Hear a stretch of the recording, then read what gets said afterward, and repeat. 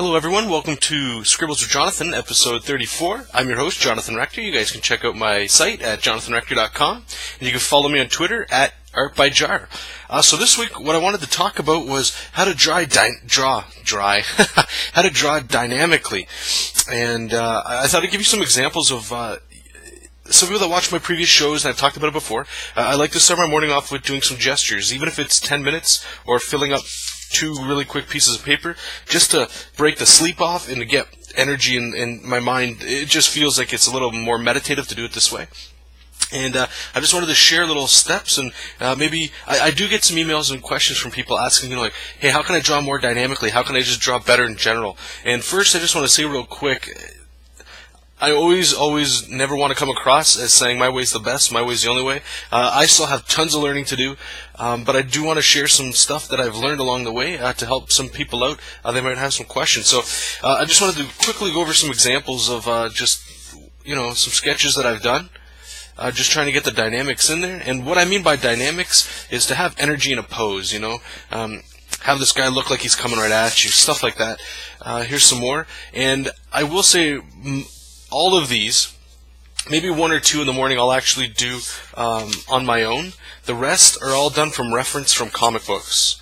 And uh, I, I, suggest looking at comic books or uh, animation, cartoon, anything that's really uh, you know high energy, uh, larger than life. And for me, when I'm looking at dynamic stuff, what I like to look at are people like Jack Kirby, especially Jack Kirby uh, a lot of the old school guys that uh, really started to set the bar of uh, you know action in comics uh, that I, that I like, and you might be more interested in doing something uh, more modern if you're a little younger, perhaps. Uh, you know, people like Joe Madureira I talk about a lot. Greg Capullo, great guys. You, basically, what you want to do is find the most animated artists that you know and just try to. It's not copying. It's just trying to think of ways of doing shapes and just gestures. Keep it quick. Keep it simple. Don't worry about making everything all anatomically correct. You know, uh, some things like this I push a little further with some anatomy, but uh, I say we just get right into it. So some of the fundamentals that I think that you should know before we get into this, you should have a basic understanding of anatomy. If you're doing uh, animation or cartoons, uh, anatomy still plays a very huge role. Um, you need to understand foreshortening, the concepts, and uh, you know, I, would suggest that you have a decent or a solid background in some sort of art, or um, you know, you've at least tried to draw a little bit before you start getting into some things. So why why even do dynamics? Why do or even try to think in a dynamic way? Let's say you have, and I'll use superheroes even though people don't like them. That's too bad. So we'll say you're going to have a regular guy. You're just doing a quick gesture of a superhero. Um, we'll call him. It doesn't matter what his name is, but uh, we'll say you're drawing him, and he's just standing there. You know, he's ready for. He's waiting for crime to happen, to spring into action, and he's going to go tackle them. You know, he's going to use his powers and take them out. So we'll say that's just a quick gesture. Let me move my camera up a little bit. And, uh, you know, this could pass very well. You know, here he is, standing ready to go.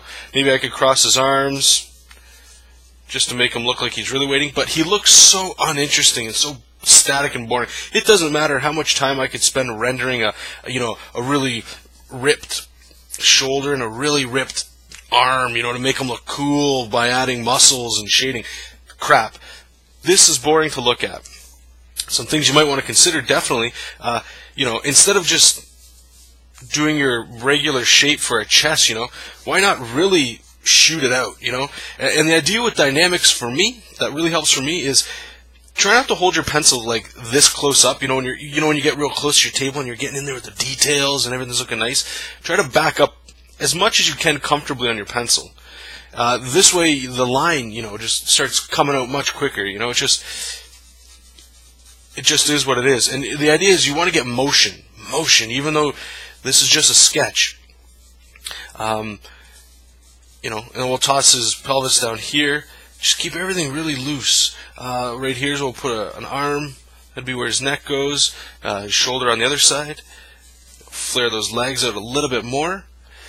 And uh, instead of a straight down arm, you know, put it to the side a bit. And one thing uh, heroes are always known for is to have their chest protruding, as if uh, they're on like a fashion runway or something. You know, uh, this is about uh, as much of a gesture as I would do, and you can go in here afterwards and start adding your, you know, like a quick anatomy. Uh, if it, this was a study that I would do in the morning, this is pretty much how I would do it. I'll actually show you a little bit more of exactly how I go about doing it. Uh, you know, pop that chest out, bring his abs in, he can shoot his other arm out there and the rest of his, uh, you know, and immediately, to me personally, and again, this is a taste thing, is all this stuff always comes down to taste and preference. This looks much more interesting than this, and it's not because I added more lines or more dark lines, but or invested more time into it. It's just you're you're you're you're trying to get a little bit more, you know, power into what you're doing. Um, I totally forget what I was going to say next. I, I know I was just talking about it, but. Uh, Oh, okay. How I would draw in the morning. So we'll say it was just a, a guy walking towards us. Um, so we'll just start real quick. Normally, what I do is I throw in the chest. I will say he's leaning forward. You know, uh, I guess that's where his neck would go. Uh, that would be where an arm's going to pop out, another arm's going to pop out. Uh, there's the center of the chest, real quick. Um, we'll get his pelvis in there, like that. And this is where things get a little uh, iffy for me. Some people they like to do the stick, you know, like a line to a, a ball to another line, and that works when something's, you know, whatever, when you need to think of it and you can't really picture. It. But if you have the reference next to you, sometimes I don't think you necessarily need that. Uh, what I recommend doing is, uh, you know, throw whatever's in the foreground. Start working in the, that foreshortening. Uh, so we'll say we'll put in his kneecap, uh, the thigh is in perspective so it always has the meaty part right up here, and then it does this little dip over there. And then this is going to lock into a, a calf, which will go into your foot. And then this one will flare this one out. Again, even though a leg, if you look at it from the side, uh, the thigh comes in here into the kneecap, and then the kneecap goes like that into the calf, and that will go into your leg. Uh, when you do that for sh- foreshortening, um, you know, if you do that straight thing like this, it looks kind of boring. So what you want to do is really bend things up a bit. Um, so instead of just doing that traditional thing, you know, like really start to curve things out a little bit. If you guys can see a little difference in this as opposed to this. And here for the arms, what I usually do is I usually always do a circle for the shoulders. It's just, especially a hero, they, they generally have uh, bigger shoulders. Um, we'll do some foreshortening. So we'll say there's his wrist, there's his forearm, his bicep will be sneaking back there. And then there's the rest of his shoulder.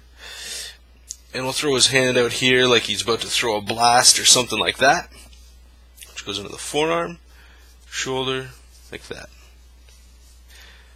And I know this is probably coming off really, you know, quick, and I, am probably not explaining things things as much as uh, some of you guys would like, and I apologize for that. But uh, really, it, it just boils down into making your shapes much more vivid and much more um, like jelly. You know, if you have somebody standing back on their back or standing on their back, standing with their back to us, you know, we'll just do that kind of a shape for their back. Maybe get that line in there just so you can see where everything's going. Uh, here we'll put their butt. Continues over here, and then this is where uh, you know you can start messing around with your uh, dynamics.